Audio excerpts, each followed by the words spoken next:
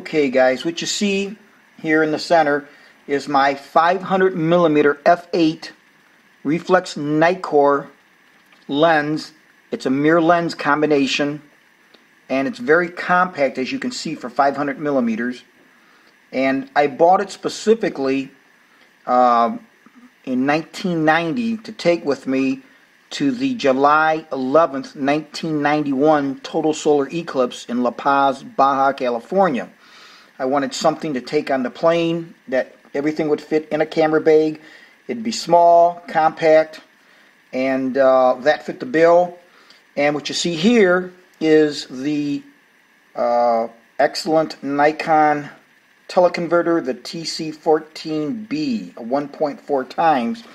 So that combination with this lens and that teleconverter would give me 700 millimeters at f11 F11 is perfect for shooting um, totality and uh, at that time it was film and I was using 100 uh, Fuji Reala.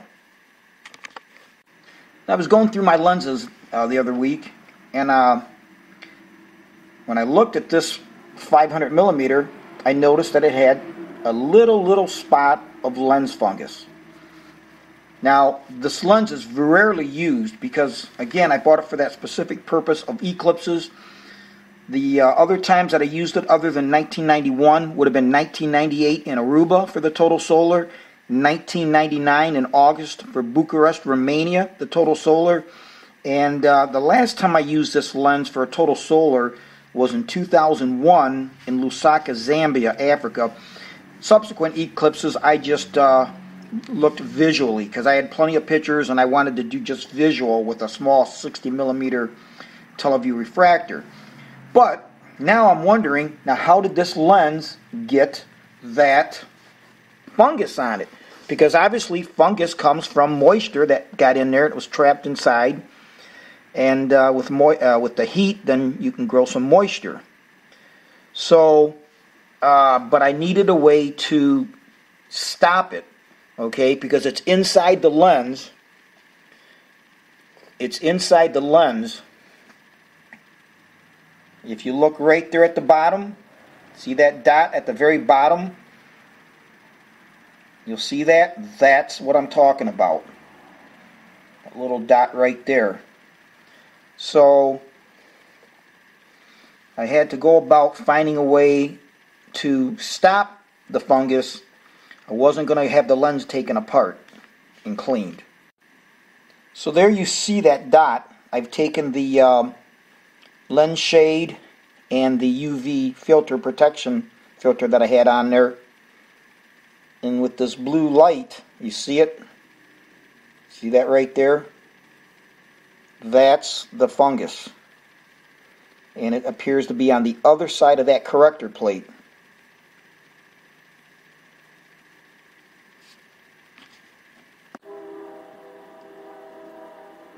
Now here's a close-up of that lens fungus. See how it looks spidery going away from the core? That'll let you know that that's what that is.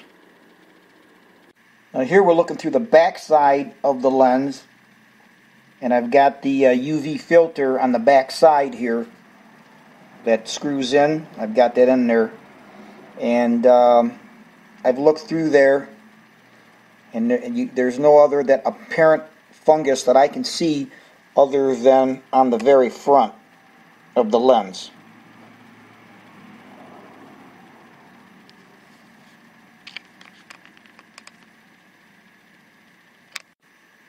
So now the question was going to be how was I going to get that fungus uh, to kill it and keep it from spreading. And so one of the things that I uh, knew was if I used a UV bulb and looking around locally and stuff, I just couldn't find anything that uh, was appropriate. So I did find something on Amazon. So after some research, I went to Amazon and found this company that that uh, I was able to buy what I was looking for. Unisterile. and I was very happy with them. Uh, shipment was quick. I had one one issue, and they were Johnny on the spot. They took care of it, sent out the new item, and uh, very very happy with Unisterol. Now, and this is what I bought from them. It's this uh, unit here. It's uh, a CT UV-25 and it's a UVC germicidal lamp with a base. So that would hold the lamp. And it's a small little base that holds the bulb which is perfect for what I was looking for and it takes the standard E26 screw-in base so if you wanted to put that bulb in any kind of a standard screw-in lamp at your home, you could. Now you want to be very careful because you, you don't want to be exposed to this. Um, whether it's yourself, pets, plants, you don't want to be subject to this light.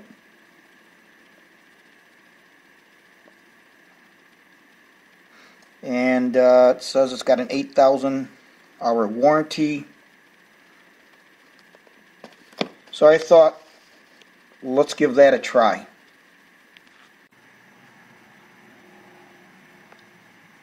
So this bulb is a 25 watt, 110 volt, E26, which is your standard base.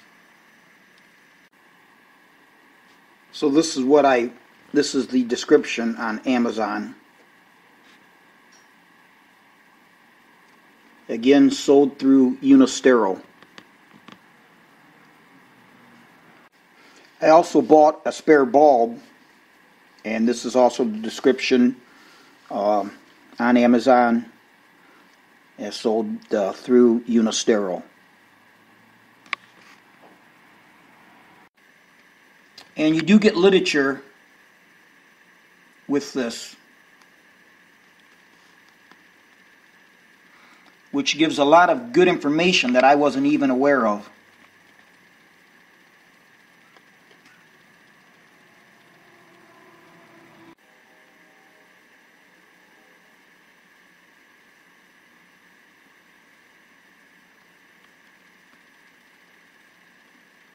And of course, when using this bulb, they do have safety instructions in here. So just make sure you read that.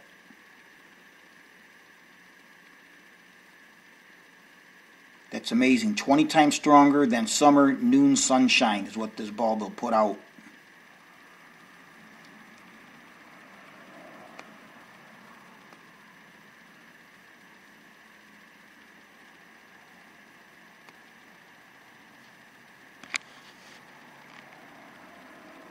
Now you want to take a look at this. If you're going to be using this uh, in your home or for room uh, use, then this this chart will tell you.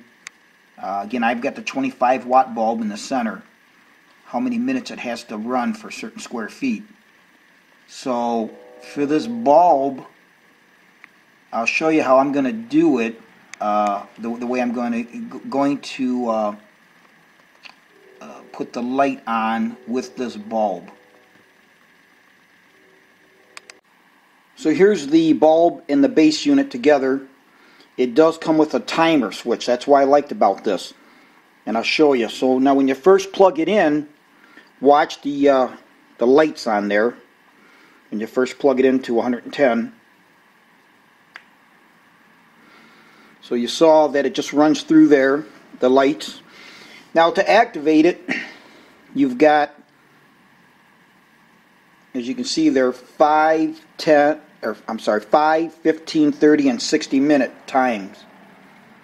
And um, the directions that come with it for the square feet, they definitely tell you, you know, how much you need.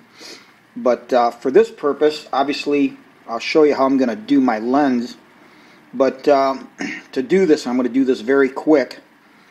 But uh, to turn this on then, I'm going to push the button. The 5 will light up, then it'll go to 15. As you push the button, it'll scroll through. And when you stop, after about 5 seconds, the bulb will come on, and whatever this is placed at, 5, 15, 30, or 60, that's how long that uh, unit will stay on then. See, I'm scrolling through. Okay, when I went through to 60, it shut itself off because I um, went past 60. So we got 5 minutes, 15, 30, and 60. I hit it again. So now we're going to stop at 5.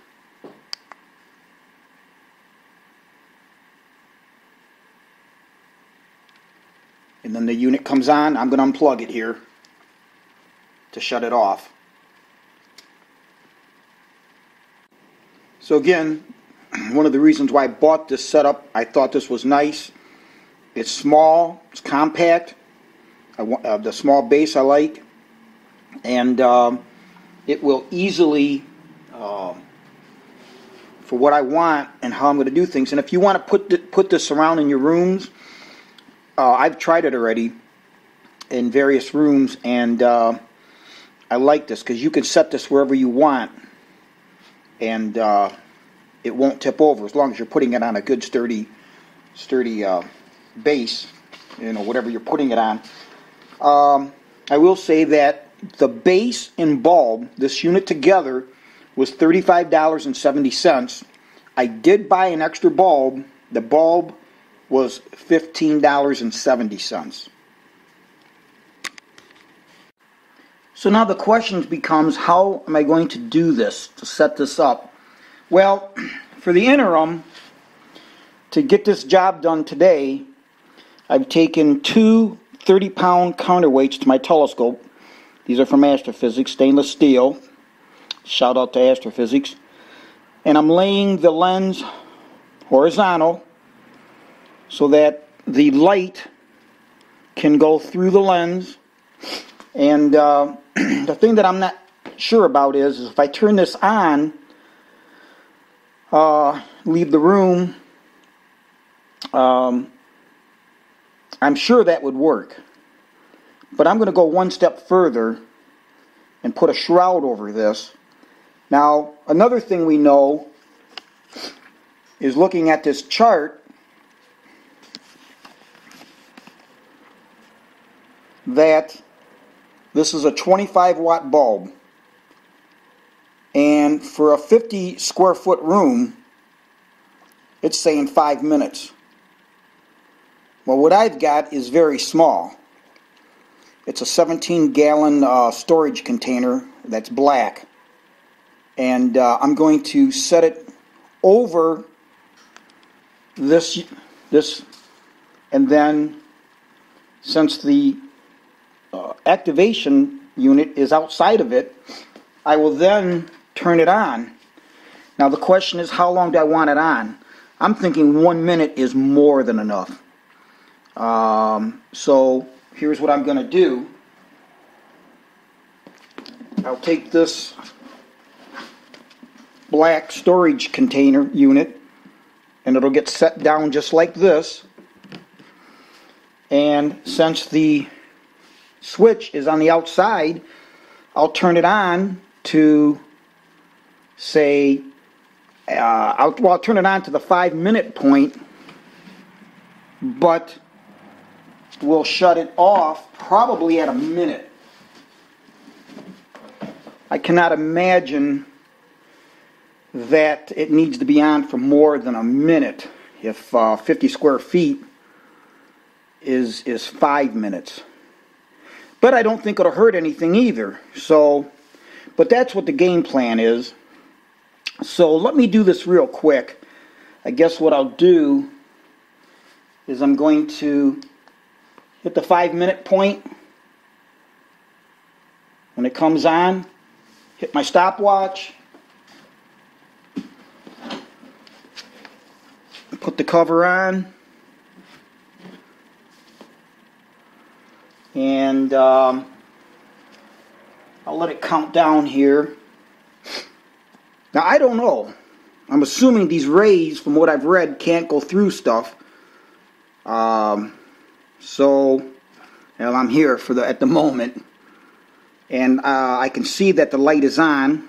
Obviously, still on because down at the bottom where there's little holes in the lid part where the lid would come on, the light is there.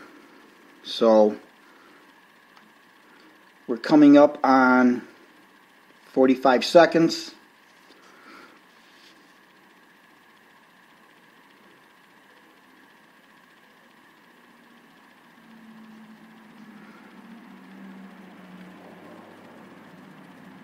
There's a minute. Maybe I'll go a minute and a half here. I'm going to have to do a little research and see. Uh, I don't know that it has to be on that long. Especially, like I said, we're inside this enclosed unit here. So you're concentrating everything to within this. So, alright. We are now a minute and a half. I just unplugged the cord, so now I can take this off, and it won't be on. By the way, that what I was using was a 17 gallon tough tote from Home Depot. So, now, this will give a very strange smell. When you use it in your room, I can smell it now. Now the bulb is a little bit warm, not, not that bad, but it's a little bit warm. This isn't hot or nothing. So, but a minute and a half. Bulb gets a little bit warm, nothing that you can't touch. And you do get a strange smell. Now, I don't smell this too bad, probably because it hasn't been on too long. But when you do this in a room, you will get a strange, I don't know how to describe the smell, uh, but that's normal with that kind of a bulb, so there is no issue.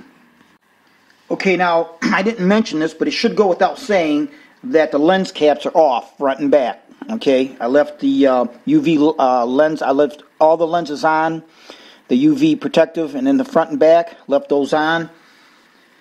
And uh, obviously, the caps are off. Now, what I'm going to do, since I'm aware of this, I'm going to make up like a V block with three quarter inch boards that I'll cut but won't nail together. So I'll use the boards, the top one will be a V block that I can set lenses on, and then I'll have three quarter inch wood that I can stack on top of another to get the height that you want to get it close to the center line.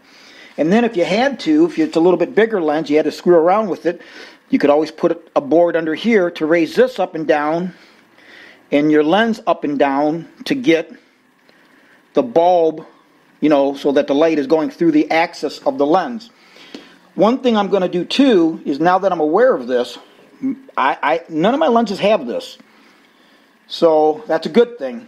But I may just as a preventative maintenance, just like on your car when you change fluids, you know, um, and, and, do things that are preventative before it, uh, it can. I've got tons of eyepieces I'm going to be doing this with my eyepieces. And again, using this setup that I have here, I could put a couple eyepieces on here and put the cover on, turn it on, and um, you know, uh, this should concentrate the light then to that. And if there's any issues, again, like I said, I none of my eyepieces have issues, none of my other lenses, none of my telescope equipment, so this is an anomaly, but this should take care of it.